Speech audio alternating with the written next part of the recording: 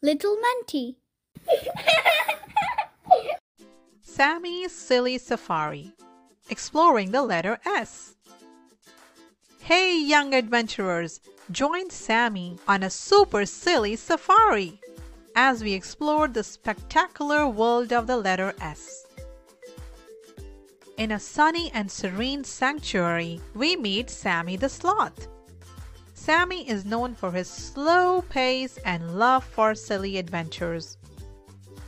Sammy's friends, Sally the Squirrel, Steven the Snake, and Sarah the Starling, join him. Each friend's name starts with the letter S, just like Sammy's. Sammy and his safari squad set off on a silly adventure. They spot sunflowers, squirrels, and shimmering streams. They encounter silly surprises like a skittish skunk and a slippery slide. They also find seashells, a sandbox, and a spinning swing. Amidst the safari, they sit down for some singing and storytelling. They share silly stories about spaghetti and sing songs about sunshine. As they continue, they scurry around, scavenging for snacks. They find strawberries, sandwiches, and sips of soda. They reach a serene stream and decide to splash and play. They enjoy splashing, swimming, and surfing on leaves.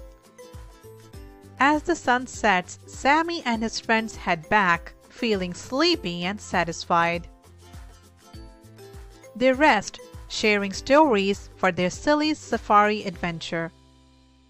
Under the starry sky, Sammy and his friends giggle over their silly safari memories. And that's the end of our super silly safari, exploring the letter S. Now, little mentees, do you know how the letter S sounds? It sounds like s, just like Sammy. Now let's read out some words from the story. Silly, Safari, Sammy, Slot. Sally, Squirrel, Steven, Snake, Sarah, Stalling.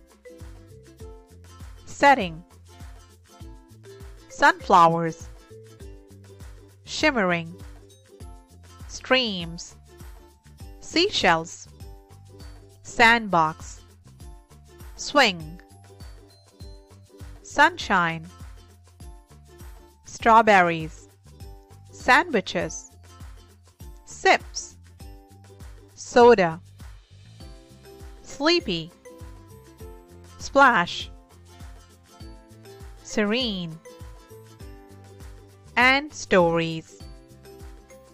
Thank you for joining us on this silly safari. See you next time. Bye bye.